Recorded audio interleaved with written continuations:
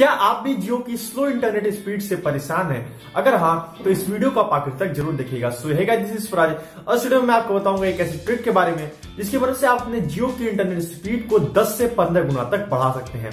लेकिन ये सिर्फ़ एक ट्रिक ही नहीं, बल्कि जियो के द्वारा आपके साथ किया जा रहा एक इंटरनेट स्पीड का स्कैम भी है। और इसके बारे में आपको ज़रूर मालूम होना चाहिए। तो आइए शुरू करते हैं।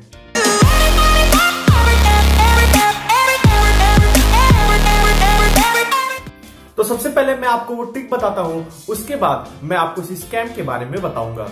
जब भी आपको ऐसा लगे कि आपको इंटरनेट स्पीड कम मिल रही है और आप अधिक स्पीड चाहते हो तो इसके लिए आपको ज़्यादा कुछ नहीं करना है। आपको सिंपली जियो के कस्टमर केयर हेल्पलाइन नंबर 198 पर कॉल कर देना है। जैसे ही आप 198 पर कॉल करेंगे, आप देखेंगे कि आपकी स्पीड पहले से 10 से 15 गुना तक बढ़ चुकी है।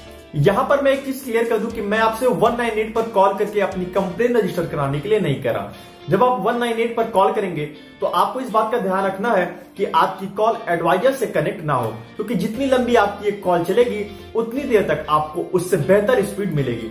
तो आप इस बात का ध्यान रखें और आप उनमें से किसी एक ऑप्शन को चूज़ करें जो कि आपके सामने रखे जाते हैं और उसको चूज़ करने के बाद आप वापस से मेन मेन्यू पर आ जाए। तो इस तरीके से आपकी कॉल लंबी चलेगी और आपको बेहतर स्पीड मिलेगी। अगर आप चाहें तो मैं आपके लिए इस पर एक वीडियो बना सकता हूँ कि कैसे आप 198 पर कॉल करने के बाद ज़्यादा समय तक अपनी कॉल को बनाए रख सकते हैं, बिना किसी एडवाइजर के कनेक्ट किए। तो अगर आप ऐसा चाहते हो कि मैं इस पर एक वीडियो बनाऊँ तो आप नीचे कमेंट सेक्शन में ज़रूर बताइएगा।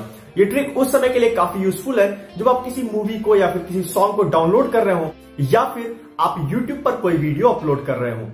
अब मैं आपको एक वीडियो के ज़रिए बताता हूँ कि कैसे आप इस ट्रिक को बेहतर स्पीड पाने के लिए यूज़ कर सकते हैं। आप देख सकते हैं कि यहाँ पर मुझे 70 के बीपीएस के लगभग की स्पीड मिल रही है। अब जब मैं 198 पर कॉल करूँगा तो आप देखेंगे कि ये स्पीड पहले से बढ़ चुकी होगी। तो आप देख सकते हैं कि 198 पर कॉल करने के बाद अब मुझे 600 के बीपीएस से ऊपर की स्पीड मिल रही है। और ऐसा नहीं है कि ये स्पीड सिर्फ़ स्पीड मीटर में ही दिखाई दे रही है, बल्कि आप देख सकते हैं कि मेरी यूट्यूब की वीडियो भी पहले से काफ़ी तेज़ी से अपलोड हो रही है। तो ये वो वीडियो थी जिसको मैंने सिर्फ़ इसलिए रिकॉर्ड किया था ताकि मैं एज अ प्रूफ आपको दिखा सकूँ ये ट्रिक वाकई में वर्क करती है। अगर आप ऐसा सोच रहे हो कि ये सिर्फ़ एक कोइंसिडेंस है कि वन नाइन पर कॉल करने के बाद मेरी स्पीड बढ़ गई और ये सिर्फ़ एक ही बार हुआ तो मैं आपको बता दूँ कि आप बिल्कुल गलत सोच रहे हैं। मैं स्ट्रिक को पिछले एक महीने से यूज़ कर रहा हूँ और अभी थोड़ी देर पहले जो वीडियो आपने देखी, अगर आप उस क्लिप को ध्यान से देखेंगे तो आप पाएँगे कि वो क्लिप चार जनवरी को रिकॉर्ड की हुई है। और मैं आपको बता दूँ कि उसके बाद से मैं इस ट्रिक को रोज यूज़ करता हूँ और अपनी YouTube की वीडियो को अपलोड करने के लिए मैं इसी ट्रिक को यूज़ करता हूँ। क्योंकि जिस वक्त मैं अपनी YouTube की वीडियो को अपलोड करता हूँ, उस समय मुझे अपनी स्पीड 60 से 70 के बीपीएस तक की मिलती है। और इस स्पीड में वीडियो को अपलोड करना पॉसिबल नहीं है। तो मैं इस ट्रिक की मदद से ही हर रोज अपनी यूट्यूब की वीडियो को अपलोड करता हूँ। अब अगर इस ट्रिक को किनारे कर दें तो आप देखेंगे कि जियो आपके साथ इंटरनेट स्पीड के नाम पर एक स्कैम कर रहा है। कैसे? मैं अभी आपको बताता हूँ। मान लीजिए कि आपको इंटरनेट स्पीड कम मिल रही है और आपने जब स्पीड टेस्ट किया तो रिज़ल्ट में आया कि आपको 100 के बीपीएस की स्पीड मिल रही है। अब अगर आप इसकी कंप्लेन करने के लिए, जो कि कस्टमर हेल्पलाइन नंबर 198 पर कॉल करेंगे तो एडवाइजर आपसे कहेगा कि उसकी तरफ़ से तो सब कुछ ठीक है।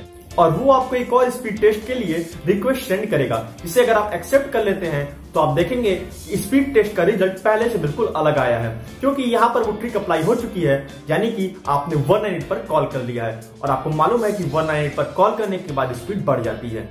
ऐसी सिचुएशन में आप चाह कर भी कुछ नहीं कर सकते हैं, क्योंकि वहाँ पर स्पीड टेस्ट का रिज़ल्ट बिल्कुल अलग आ रहा है। अब अगर आप उसे ज़्यादा फोर्स करेंगे तो वो आपकी एक कंप्लेन को रजिस्टर कर लेगा और आपसे कहेगा कि 90 दिनों के अंदर आपके एरिया में एक साइट प्लेस कर दी जाएगी।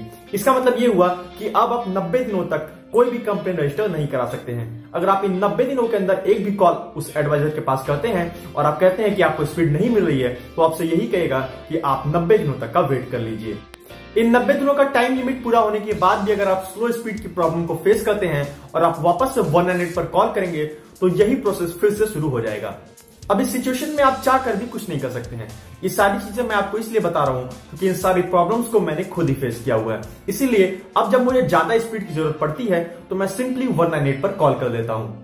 आप चाहे तो इस वीडियो के लिंक को अपने सोशल मीडिया अकाउंट्स पर hashtag Jio speed scam के साथ शेयर कर सकते हैं। हो सकता है कि किसी खास की नज़र आपके पोस्ट पर पड़ जाए और आपको बिना वरना नेट पर कॉल किए ही बेहतर स्पीड मिल सके। तो अगर ये वीडियो आपको पसंद आई हो तो इसे लाइक कीजिए, नहीं पसंद आई हो तो इसे डिसलाइक कीजिए। चैनल को अभी तक आपने सब्सक्राइब नहीं किया तो ज़रूर से सब्सक्राइब कर लीजिए और अपने सवाल नीचे कमेंट सेक्शन में लिखना मत भूलिएगा। फ़िलहाल के लिए इतना ही, मिलूँगा अगले वीडियो में। टिल जय हिंद।